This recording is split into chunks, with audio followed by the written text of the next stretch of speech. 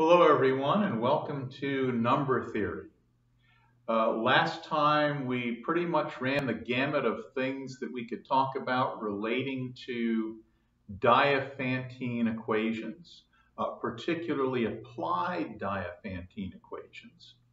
Uh, now we're going to go on to another topic, and uh, this is not only at the heart of number theory, but also related areas like uh, encryption, coding theory, and so forth. So uh, this is a hot topic in number theory and in other areas of math. Number theory, primes and composites. A natural number p greater than 1 is prime exactly when its only positive divisors are 1 and itself. And as a consequence of this definition, note for future reference that we do not consider 1 to be a prime number. Uh, 1 is not a prime number. Uh, I hate to make a big deal out of that, but actually it's an important distinction to make. Now, what about those numbers those natural numbers greater than 1 that are not prime? Well, any natural number greater than 1 that is not prime is called composite. So all natural numbers greater than 1 fall into exactly one of two categories. They're either prime or they're composite. Now let's look at some theorems here.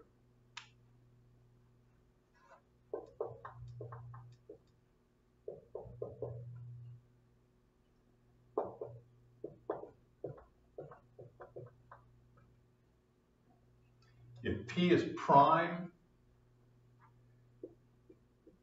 and P divides the product of A and B, where A and B are uh, integers,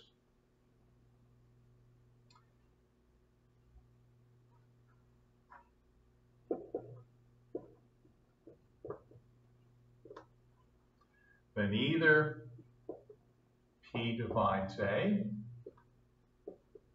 or P divides B, but one or the other. Now, we've sort of proved this before. Uh, let's look at our proof.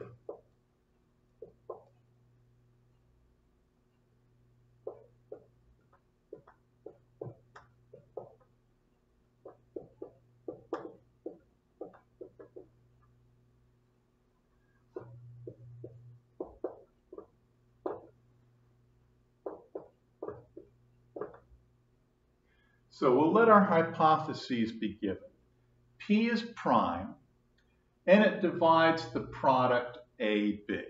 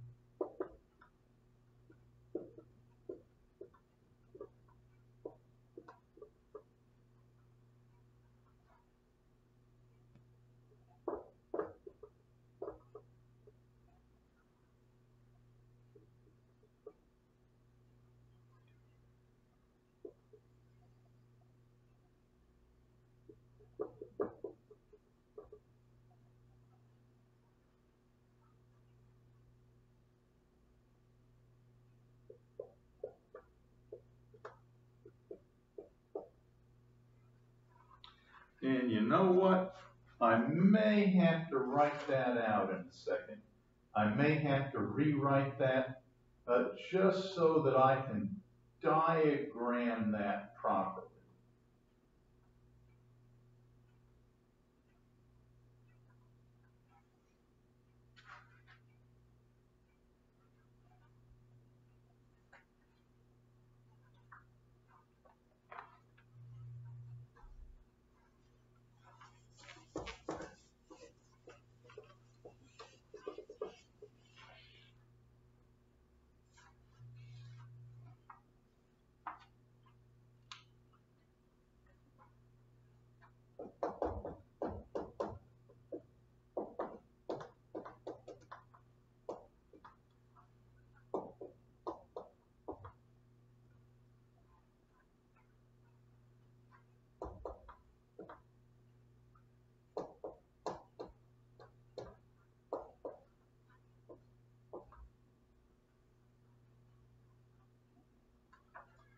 That's what I'm trying to show.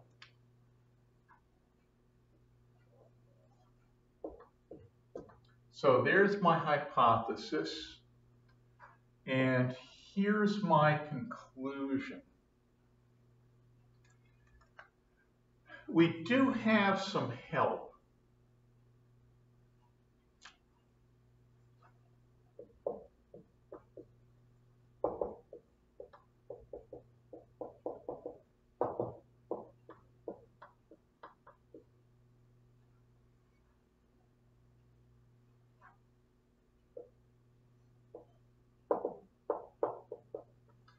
So that says something to the effect of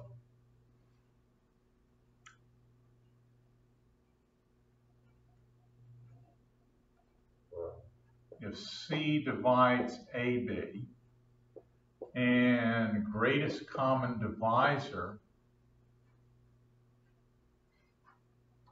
of CA equals 1, then C divides B.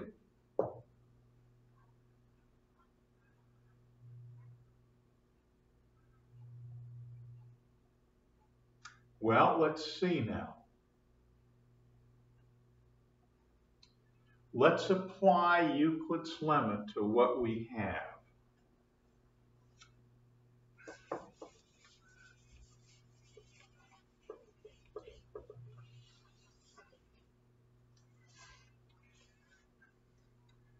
And think about how it is that we prove an if-then proposition.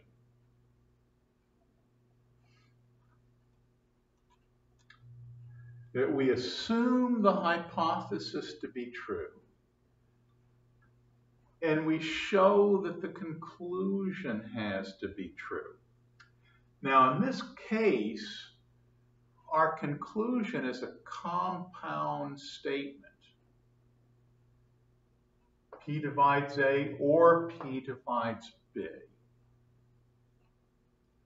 Now, to show that this is true, we're going to show that it can't be false.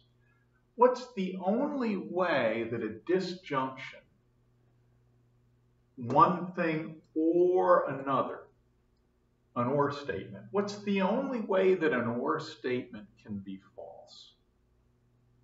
Isn't it false only when both of these things are false?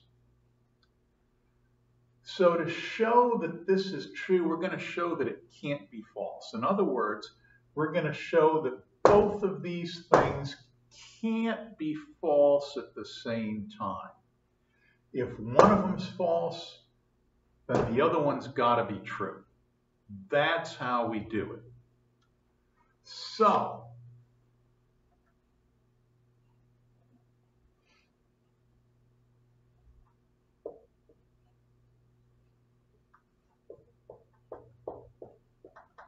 we assumed our hypothesis to be true.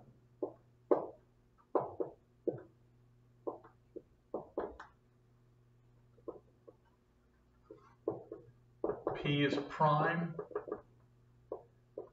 and P divides AB.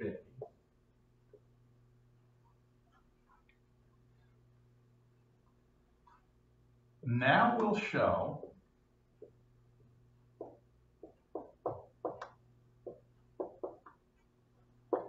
that our conclusion P divides A or P divides B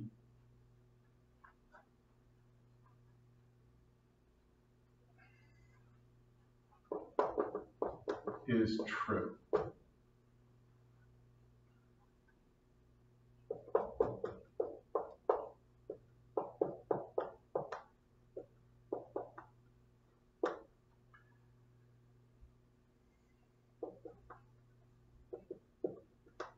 Show that our conclusion P divides A or P divides B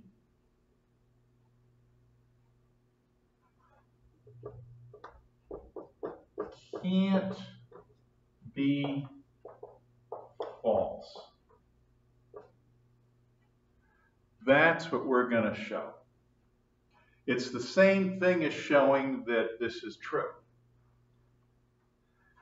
Now, that means that both of these things, P divides A and P divides B, both of these things can't be false at the same time. If one of them's false, the other one has to be true. Okay.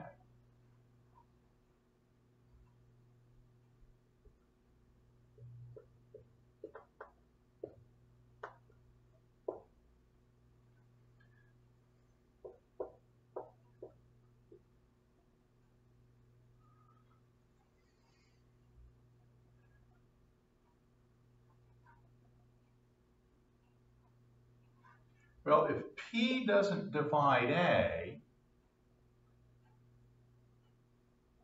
that means that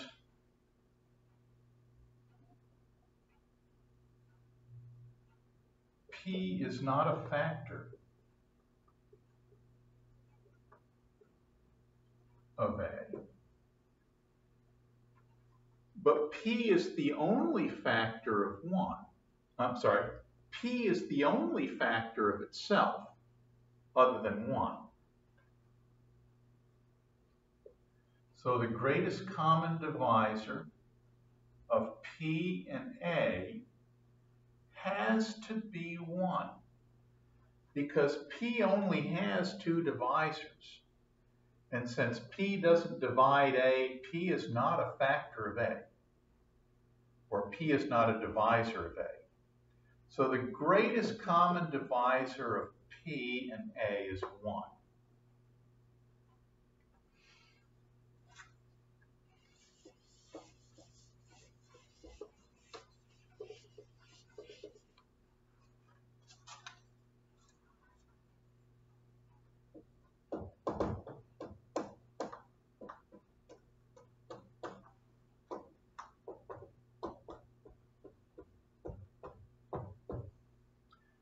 So where does that leave us? Let's see.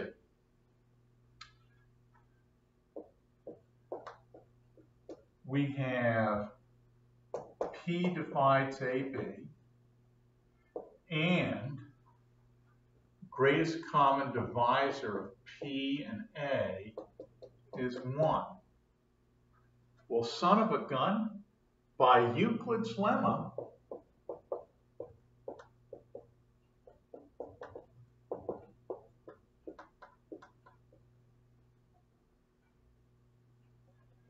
P has to divide B.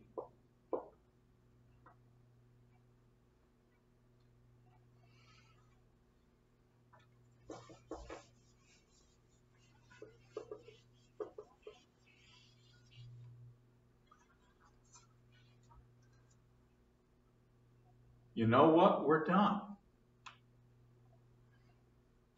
That we've shown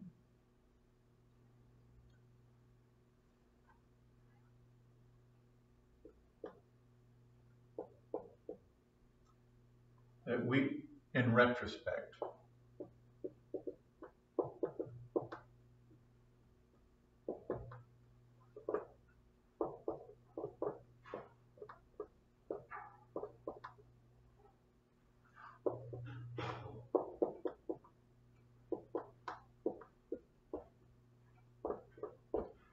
we showed that those things can't both be false. That we showed that P divides A and P divides B can't both be false.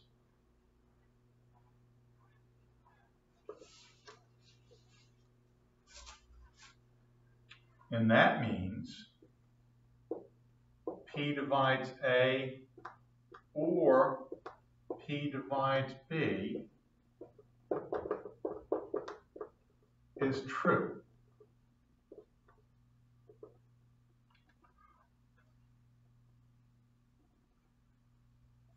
Now, this may be an important proof to review because we may never have done a proof where the conclusion uh, was a disjunction.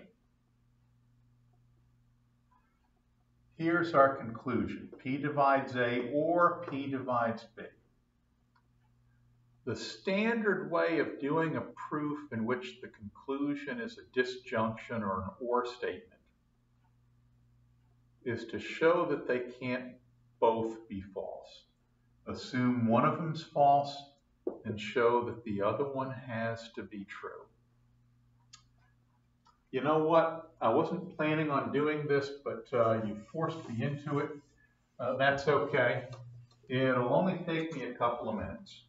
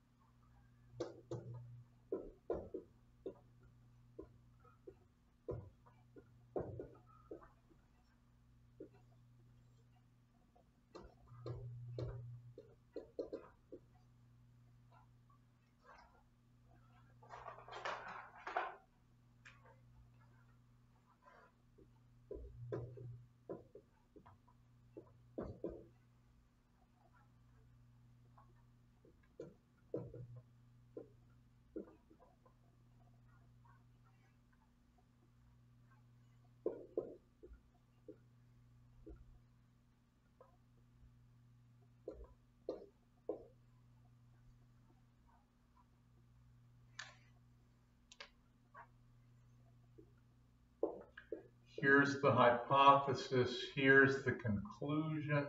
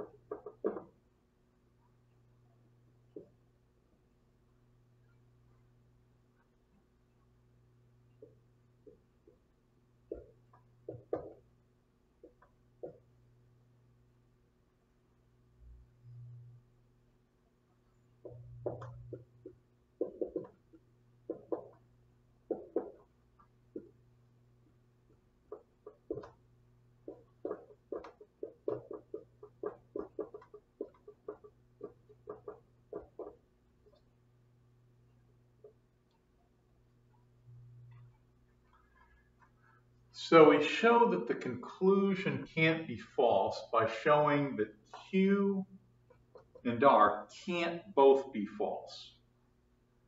And how do we do this? We do this by assuming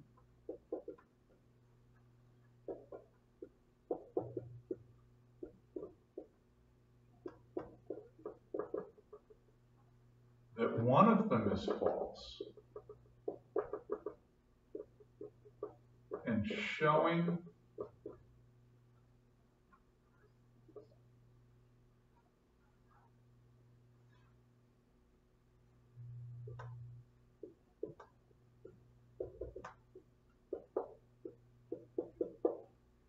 that the other must be true.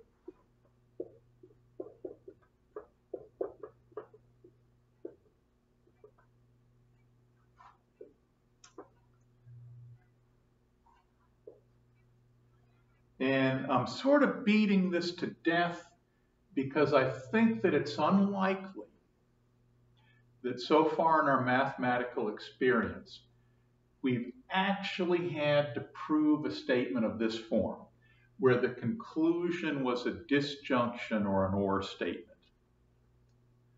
But the standard way of doing this is to assume that one of them is false and then show that that means that the other has to be true. In other words, they can't both be false. Okay, onward and upward.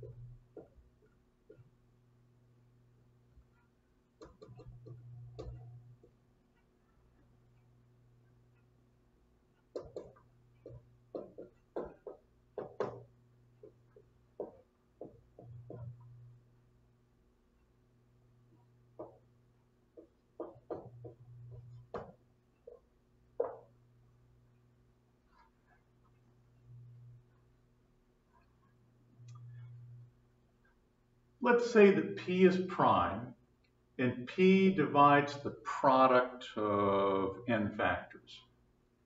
Well, P has to divide at least one of those factors. So here are our factors, A1, A2, A3, dot, dot, dot, A sub n. P has to divide A sub i for some i between 1 and n. And normally I wouldn't do this proof, but it's a great induction proof and we may not have had a lot of experience doing a proof like this. So let's go for it.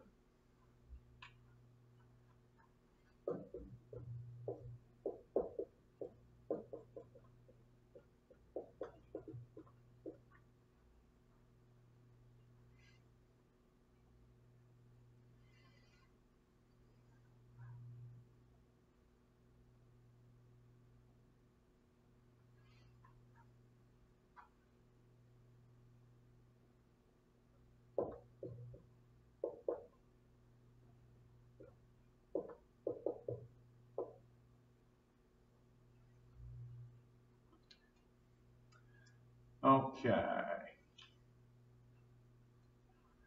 This thing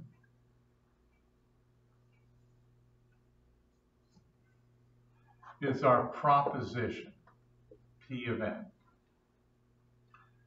The first thing I'm going to do is show that my proposition is true for n equal 2.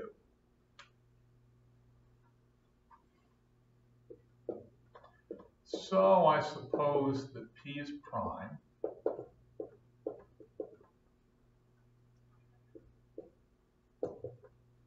And that P divides A sub 1 times A sub 2.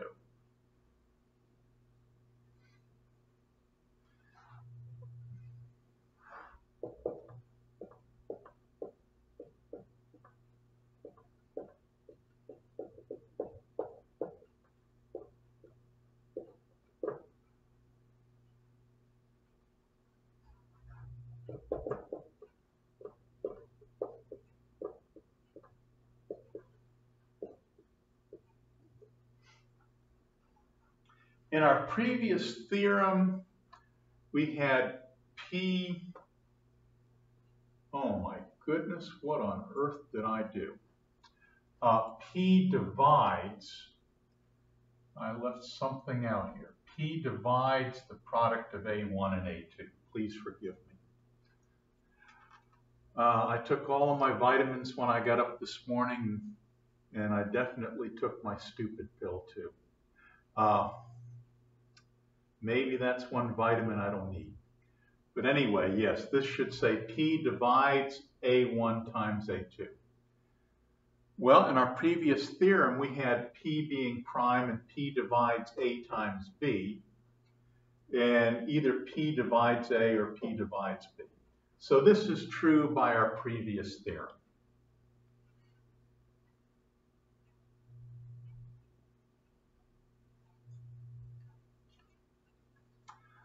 So now,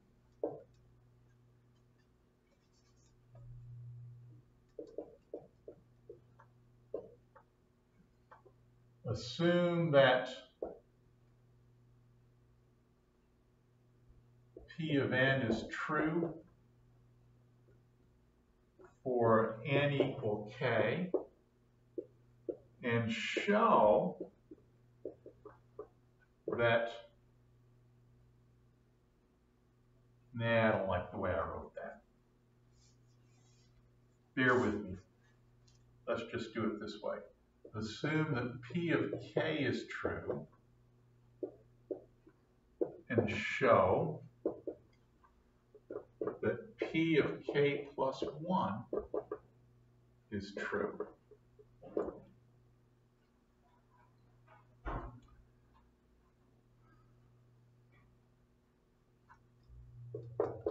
Now, that is show that if P is prime,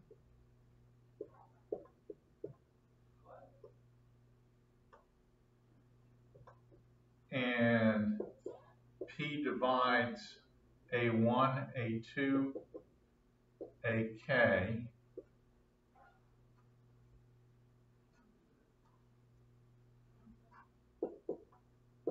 then P divides A sub for some i between 1 and k.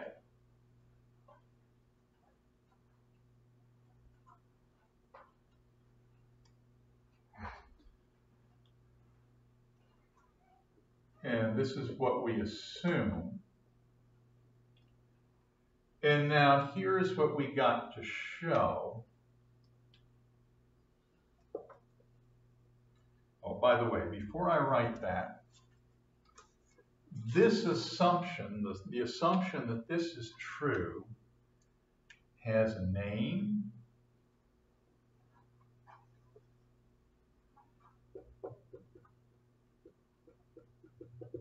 this is our induction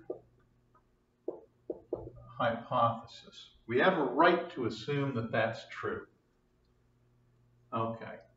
And now we're going to show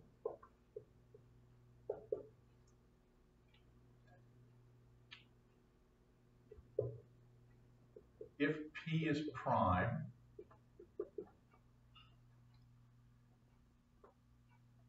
and P divides A1, A2, dot, dot, dot, A sub K, A sub K plus 1,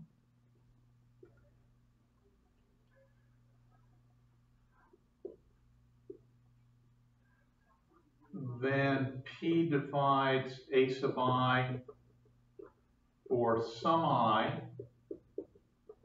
between 1 and k plus 1. And I think we can do that quickly.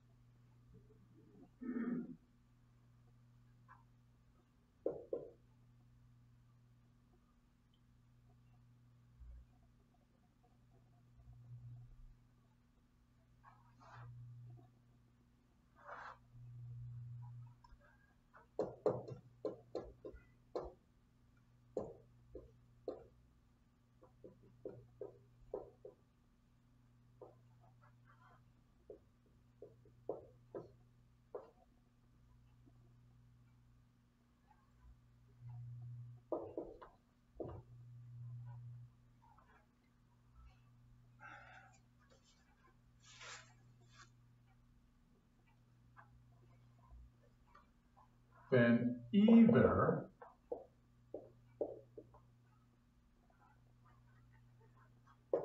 P divides, and the trick here is to write this product as the product of two factors.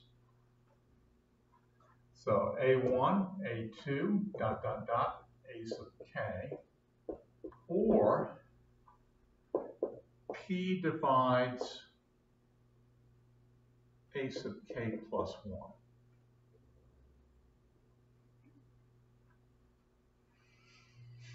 Because we can look at this thing as being the product of this times that. We can look at it as the product of two factors.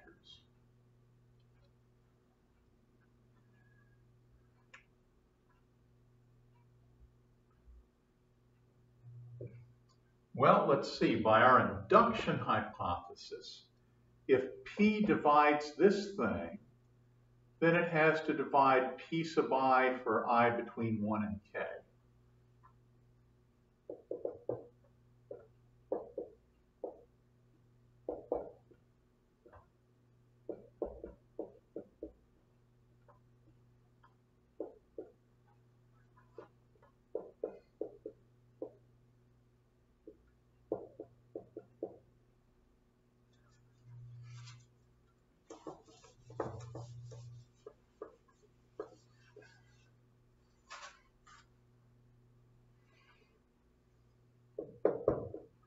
Now we put this thing and this thing together, and that just says P divides A sub i for some i between 1 and k plus 1.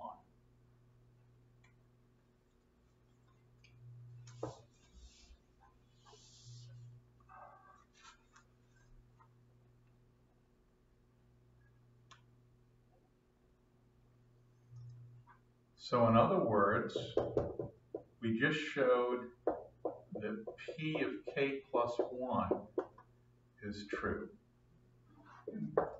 Hence, if P divides A1, A2, dot, dot, dot, A sub n, then P divides A sub i some i between 1 and n. And I hate to say this, I think this is going to be a short lecture, but uh, I will finish up with another one tomorrow. And again, everybody, stay healthy, stay busy working on good things. Don't worry about the things that we can't do. Just focus on the things that we can do and be safe.